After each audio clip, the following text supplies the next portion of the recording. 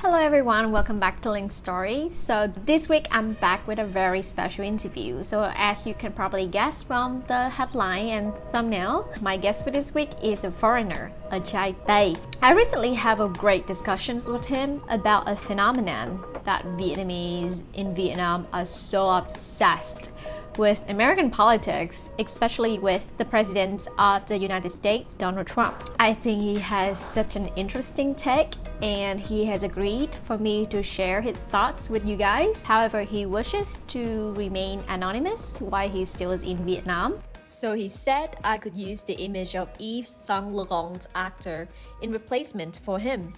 So here it is. Let's start with a simple questions. Why are Vietnamese in Vietnam so obsessed with American politics? And hear what he said. Well, I guess one reason is that politics in Vietnam is a very, very dual affair that normal Vietnamese have no say in or no influence over. Talking about American politics is an escape from this situation, but also, in a way, an entertainment. The only problem I have with the way Vietnamese do this, meaning talking about American politics, is that most of them know very little about what they are talking about.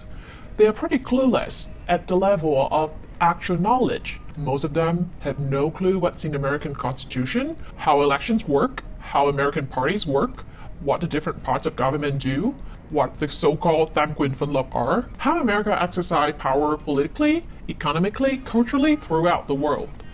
They are also clueless at the level of practical experience.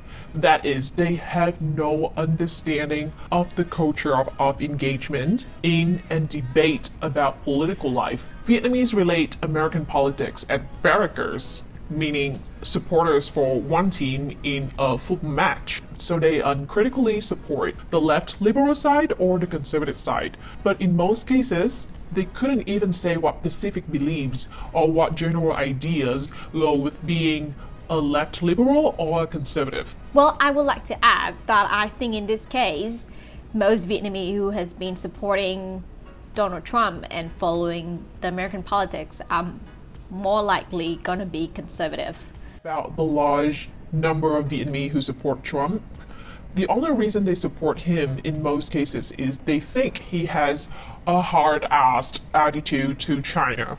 Among some young Vietnamese, it's also because he shoots ops at the mouth in an entertaining way.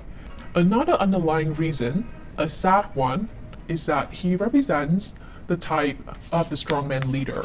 You could say this Vietnamese hankering after a political strongman is just down to one dumb, bad idea about politics. To have a strong country, you need to have a strong leader. This is obviously not true, by the way. Strong leaders who aggressively stand up for the rights, unity, strength of their nations often do two things that lead not just to weakness, but to disaster. They start wars and they throw their political opponents in jail, or at least demonize people who oppose them. On the other hand, in modern democracies, power is divided according to the idea of separations of power, meaning tam quyền phân lập not concentrated in the hands of a strong man. But I'd say in Vietnam's case, the strained desire for a strongman leader is much more complex than this.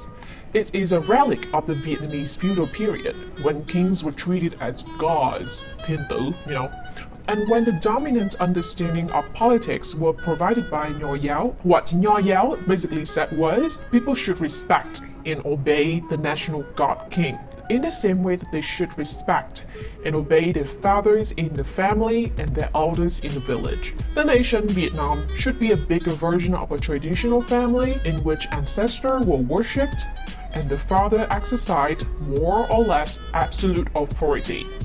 All in all, a deeply conservative, pre-modern understanding of politics. Now think about it, Vietnamese have, in their history, which spans 1000 of years, never really know any other way of thinking about politics than this. We are talking about a deep psychological and cultural habit. The only real political habit that could counterbalance the Vietnamese desire for a powerful national father figure has never been encouraged. Vietnamese never had the experience of meaningfully participating in a political discussions or decision making. So they have no idea what it means for people to agree to disagree, for people with different political beliefs forming different parties to compete and debate and to compromise with each other in exercising power.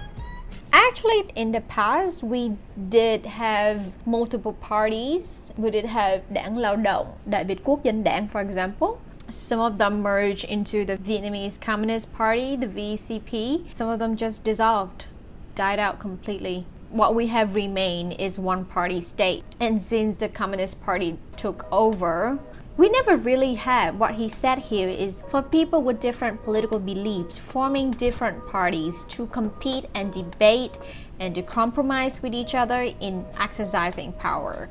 That is not what's happening in Vietnam right now. Vietnamese are used to all the people making big political decisions, and so they naively think that it's better if one man make all the decisions because that way everything would be simpler and the country could go in one clear direction. Vietnamese still hanker after a strong man because the current political system doesn't provide anything like that. They look overseas for something to satisfy this ancient political urge. They start supporting Trump in a way which is just downright bizarre. Like they're his diehard supporters, even though most of them know very little about America, have never been there, and never will. The Vietnamese adore him because he's bringing together the two most powerful elements in their political psychology. First, a desire for a dictator, which I think is a sign of a deep political immaturity, and a hatred or mistrust of China, which is historically much more understandable. But behind these two elements, there seems to be something more basic. It is the way Vietnamese worship power itself. How can they possibly worship Trump after having sort of worshipped Obama, who was the total opposite of Trump? The only answer I can think of is Obama, like Trump, sat on the political throne of the world. He was, for eight years, the most powerful person in the most powerful country in the world, as Trump is now. In some senses, Vietnamese simply worship these men because they were powerful. And by the way, in my seven years in Vietnam, I have heard several Vietnamese expressing their admiration for Hitler as a strong leader. So that's part one, in which Anh Chàng Trai Tây explained why he thinks Vietnamese in Vietnam are obsessed with American politics and President Donald Trump. We'll be back with the second part, in which he will explain why Trump is bad for Vietnam and the world. So, see you in the next video.